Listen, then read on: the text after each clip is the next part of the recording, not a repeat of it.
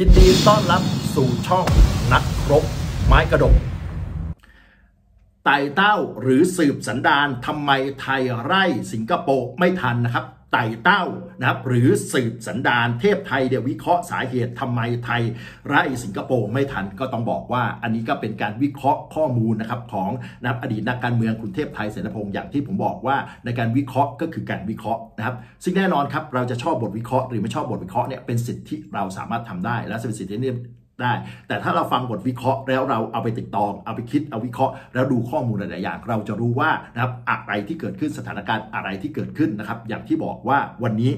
เราฟังหลาย ๆ คนเราก็ได้แค่ข้อมูลหลาย ๆ คนและที่สำคัญนะครับเราจะเชื่ออะไรเป็นสิทธิของเราที่เราจะเชื่อได้ แต่เราไม่จำเป็นต้องเอาความเชื่อไปยัดเยียดให้คนอื่นเชื่อตามเรา ซึ่งแน่นอนครับ เราไปฟังข้อมูลใดที่เราไม่ชอบ เราก็แค่เลื่อนผ่าน ไม่ต้องไปโต้ทอยงไม่ต้องไปต่อร้อต่อเถียงสำหรับผมเองนะครับ ผมเองเนี่ยผมบอกเลยผมก็ท่องไปในโลกโซเชียลนะครับเห็นข้อมูลเยอะแยะแต่ผมไม่เคยไปโต้เถียงกับเขา ผมถือว่านั่นคือสิทธิ์ในการวิพากษ์วิจารณ์ของเขา ส่วนผมเองนะครับก็มานำเสนอ ส่วนใครจะมีสิ่งที่ผมนำเสนอ แล้วเขาจะวิเคราะห์ที่ตรงกันข้ามกับผมนะครับแล้วนะครับไไม่มาด่าผมไม่มาว่าผมไม่มาทำพูดนะครับในเชิงที่ให้ผมเสียหายเนี่ยผมก็ไม่ตอบโต้อะไรนะครับผมก็ไม่ตอบโต้อะไรเพราะเป็นสิทธิ์ของเขาที่เขาจะวิพากษ์ประเด็นนั้นๆนะครับ แต่ถ้าเกิดว่ามาพูดถึงนะครับ มาพูดถึงผมเนี่ยผมก็ขอสวนกลับและบอกก่อนนะครับ ผมเองครับใช้อยู่ 2 อย่างคือ 1 ด่ากับ 2 ก็คือ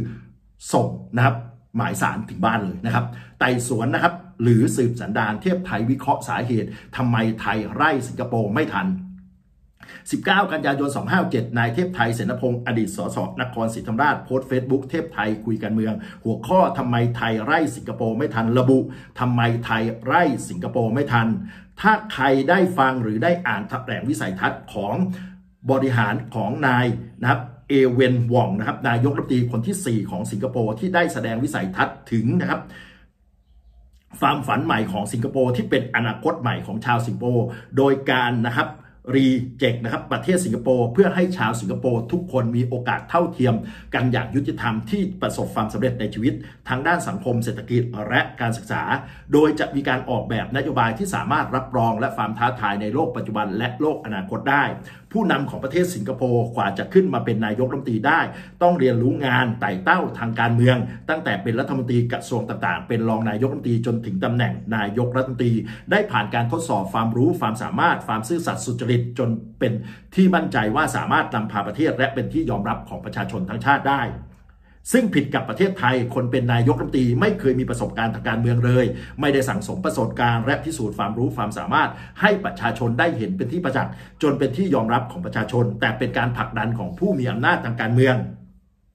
ต้องการถ่ายทอดตำแหน่งทางการเมืองให้กับทายาททางการเมือง หรือที่เรียกกันว่า เป็น DNA หรือเป็นผู้สืบสันดานทางตำแหน่งจึงทำให้ประเทศไทย